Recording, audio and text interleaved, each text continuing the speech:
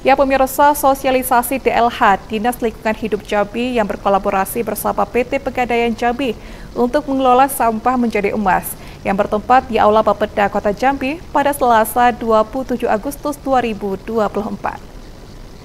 PJ Wali Kota Jambi Sri Purwaningsih menghadiri kegiatan sosialisasi untuk mengelola sampah menjadi tabungan emas Kegiatan tersebut adalah kolaborasi antara Dinas Lingkungan Hidup atau DLH Jambi dengan PT Pegadaian Jambi pada hari Selasa 27 Agustus 2024 bertempat di Badan Perencanaan Pembangunan Daerah atau Bapeda.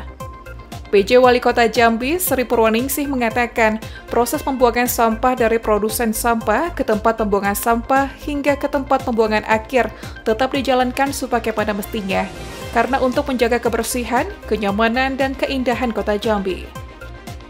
Ya, uh, Pak mengundang seluruh komponen di pemerintah kota Jambi, mulai dari OPD, kemudian PKK, sampai BKMT, ya, camat juga diundang untuk mensosialisasikan terkait dengan pengelolaan sampah dari sumbernya melalui bank sampah maupun kerjasama dengan pegadaian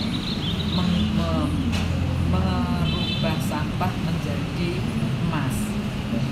Dan hari ini hadir langsung Vice President PT Pegadaian beserta seluruh jajarannya, tadi lengkap para kepala cabangnya itu untuk bersama-sama menjelaskan kepada seluruh yang hadir jajaran pemerintah kota Jambi ini terkait dengan bagaimana merubah sampah menjadi emas saya sampaikan pada kesempatan kali ini bahwa pengelolaan sampah itu yang sama-sama kita bahas sekarang adalah bagaimana dari produksi sampah ya dari masing-masing produsen sampah itu langsung dikirimkan ke TPS dari TPS ke TPA.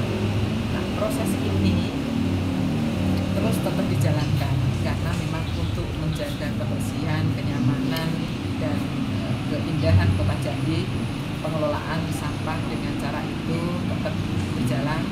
Namun demikian ada cara yang kedua yang ini berdampak pada ekonomi masing-masing produsen sampah yaitu dengan kerjasama dengan PT Pegadaian maka sampah-sampah dikelola sendiri dari masing-masing pemproduksi sampah itu kemudian dimasukkan ke bank sampah dipilotin ditukar ditabung menjadi tabungan emas ya.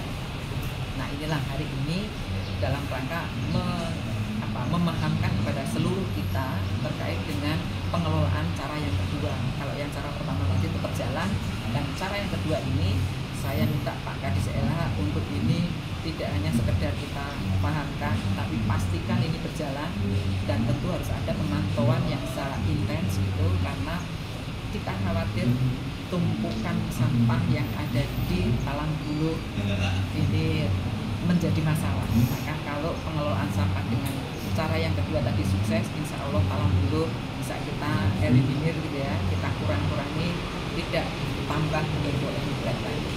Saya rasa itu kepentingan dari forum sosialisasi itu ya. Selain itu, Sri Purwaningsih menjelaskan, masyarakat juga bisa mengelola sampahnya sendiri dengan cara menabung sampah ke bank sampah dan menjadikan sampah sebagai tabungan emas yang dikelola oleh DLH yang berkomunikasi dengan PT Pegadaian Jambi.